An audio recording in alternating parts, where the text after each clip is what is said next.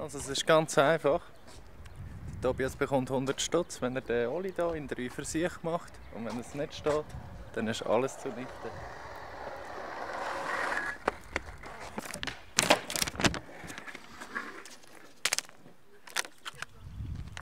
Viel Spaß, Tobi.